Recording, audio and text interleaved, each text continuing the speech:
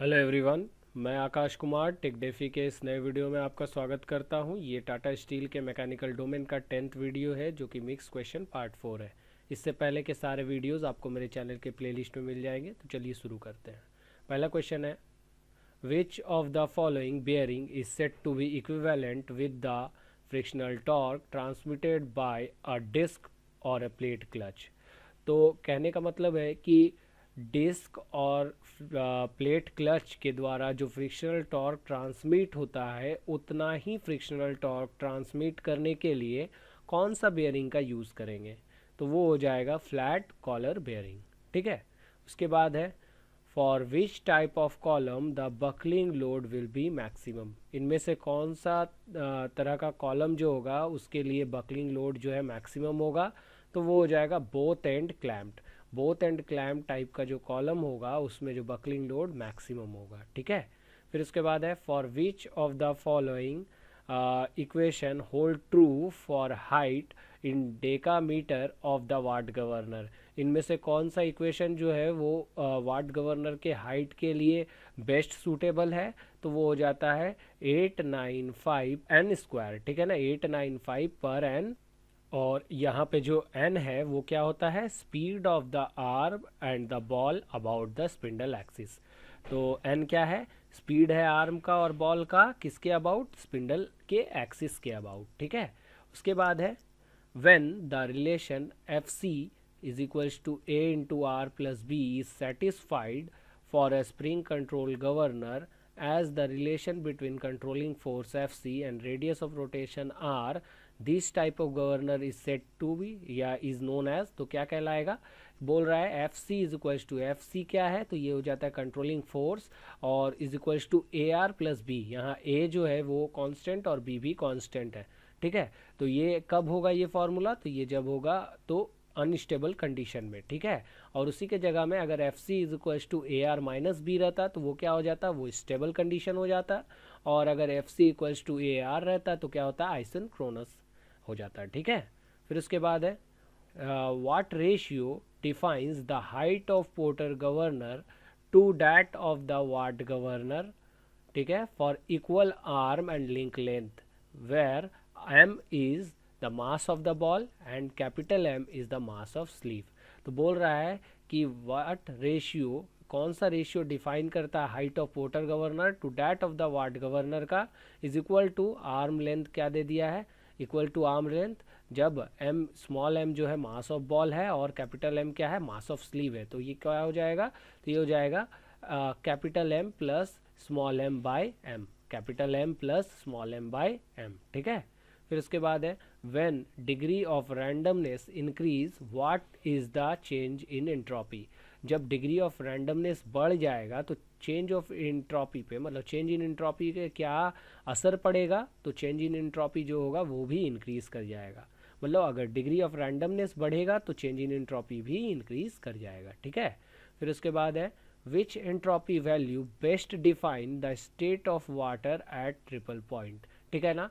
Triple point में state of water में entropy का वैल्यू क्या होगा? तो एंट्रोपी का वैल्यू जो होगा, वो ज़ीरो होगा, ठीक है ना? कब ज़ीरो होगा बोल दिया है? ट्रिपल पॉइंट में, triple point state of water में एंट्रोपी का वैल्यू जो होगा वो क्या होगा? ज़ीरो। ठीक? Which of the following cycle is use in compression ignition engine इनमें से कौन सा साइकिल का यूज़ करेंगे हम लोग कंप्रेशन इग्निशन इंजन में? तो सीधी सी बात है डीजल इंजन हो जाएगा। The self ignition temperature of diesel is dash as compare to petrol. तो सेल्फ इग्निशन टेम्परेचर जो डीजल का होता है, वो क्या होता है? लोअर होता है। किसके? कंपैरिजन में, पेट्रोल के कंपैरिजन में। तो डीजल का वैसे होता कितना है? तो ये हो जाता है 210 डिग्री सेल्सियस। और ये वहीं पे अब पेट्रोल का जो सेल्फ इग्निशन टेम्परेचर होता है, वो कितना होता है? 246 डिग्री सेल्सियस। इसीलिए क्या होगा? सेल्फ इग्निशन टेम्परेचर डीजल का जो है, वो लोअर होगा। किसके कंपैरिजन में? पेट्रोल के कंपैरिजन में। ठीक है? फिर उसके बाद है what happen when supercharging is done on a spark ignition engine अगर स्पार्क इग्निशन इंजन में अगर सुपर चार्जिंग कर दिया जाए तो क्या होगा नॉकिंग बढ़ जाएगा। पहले भी मैंने नॉकिंग के बारे में बताया है कि प्रॉपरली मतलब इग्नाइट मतलब इग्निशन जो होगा वो प्रॉपर नहीं होगा, जिससे कि मतलब जो कम्बसन होगा वो प्रॉपर नहीं होगा और इसके कारण इंजन सिलेंडर में वियर एंड टीयर आएगा, उसको नॉकिंग कहते हैं। और यही ओकर होगा अगर सुपर चार्जिंग कर देंगे हम लोग किसमें? स्पार्क इग्निशन इंजन में, ठीक है? फिर इसके बाद है, what is the, which of the following factor does not contribute towards detonation of an engine ठीक है ना?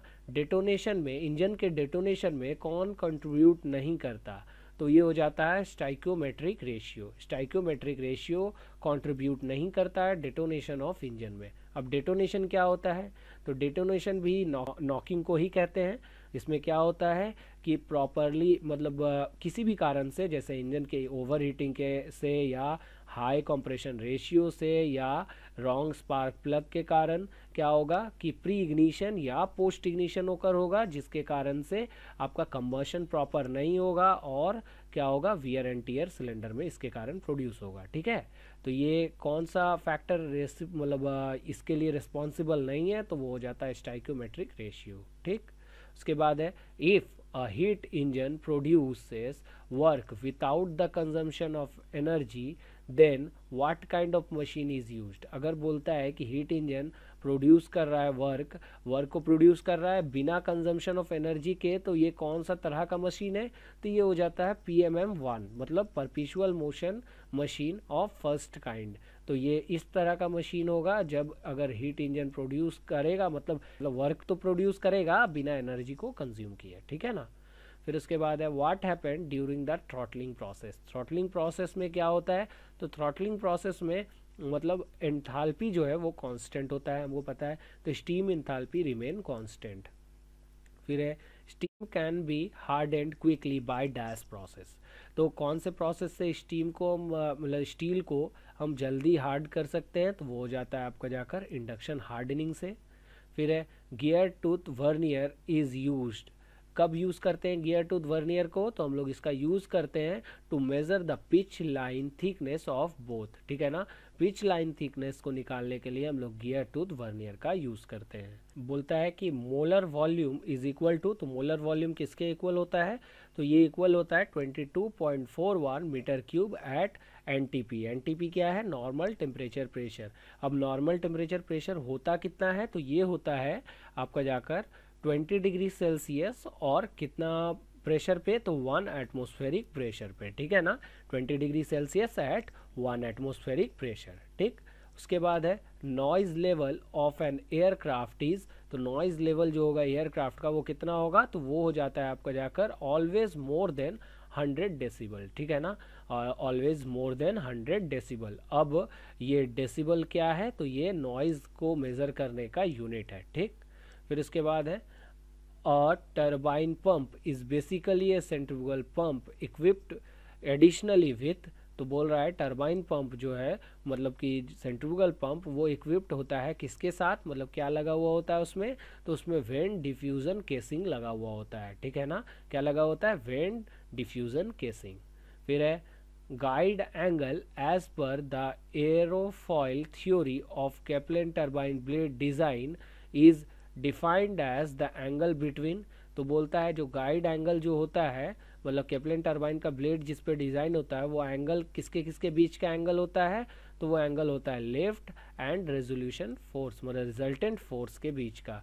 As defined as the angle between lift and resultant force ठीक है? फिर उसके बाद है which of the following water turbine does not require a draft tube इनमें से कौन सा जो टर्बाइन है, उसमें ड्राफ्ट ट्यूब का ज़रूरत नहीं पड़ता है तो वो हो जाता है पेल्टन टर्बाइन। पेल्टन टर्बाइन के साथ ड्राफ्ट ट्यूब का ज़रूरत नहीं पड़ता है। फिर उसके बाद है why is multi stage of centrical pump is use multi stage of centrical pump का यूज़ हम लोग क्यों करते हैं? तो इसका यूज़ करते हैं फॉर हाई हेड अब ये डिपेंड करता है कि मल्टी स्टेज सेंट्रिगल पंप को हम किस तरह से कनेक्ट किए हैं। अगर उसको अगर हम सीरीज़ में कनेक्ट करेंगे तो वो क्या देगा? डिस्चार्ज तो कांस्टेंट देगा और उसके बाद हेड जो होगा, वो सम में होगा। मतलब जितना पहले वाला एक पंप फिर दूसरा, फिर तीसरा तो H one plus H two plus H three अगर उसी को अगर हम लोग पैरेलल में कनेक्ट करेंगे तो उसका हेड जो है, वो कांस्टेंट हो जाएगा। मतलब H one is equals to H two plus H is equals to H three वाला हो जाएगा। लेकिन डिस्चार्ज जो है वो सम में हो जाएगा। मतलब Q equals to Q one plus Q two plus Q three हो जाएगा। ठीक है? फिर उसके बाद है the overall efficiency of Pelton wheel is about तो ओवरऑल एफिशिएंसी कितना होता है पेल्टन व्हील का? तो ये हो जाता है आपका जाकर ज़ीरो पॉइंट एट फाइव कितना होगा? ज़ीरो पॉइंट एट फाइव ठीक है? फिर उसके बाद है when when there is no air left below the nappe it is known as जब नैप के मतलब अंदर कोई तरह का एयर अगर प्रेजेंट नहीं है तो उसको क्या कहेंगे? तो उसे कहेंगे अडेयरिंग नैप क्या कहेंगे? अडेयरिंग नैप ठीक? फिर है the length of mouth piece as compare to the diameter to diameter is कितना होता है लेंथ जो है माउथ पीस का, किसके कंपैरिजन में? उसके डायामीटर के कंपैरिजन में तो वो होता है दो से तीन times two to three times ठीक? फिर उसके बाद है if a thin plate is held normal to the flow the viscous drag on it is अगर कोई थीन प्लेट को नॉर्मली रख दिया जाए फ्लो के सामने तो विस्कस ड्रैग वो कितना होगा? तो वो हो जाएगा ज़ीरो तो थैंक यू अगर वीडियो अच्छा लगा तो प्लीज़ लाइक करें सब्सक्राइब करें और शेयर करना ना भूलें, ताकि मैं इससे भी अच्छे अच्छे वीडियोस बना सकूँ और आपके कमेंट से मैं मोटिवेट होता रहता हूँ तो प्लीज़ कमेंट करें कि और आपको कौन कौन से टॉपिक पे वीडियो चाहिए, मैं डेफिनेटली उसको प्रोवाइड करने की कोशिश करूँगा।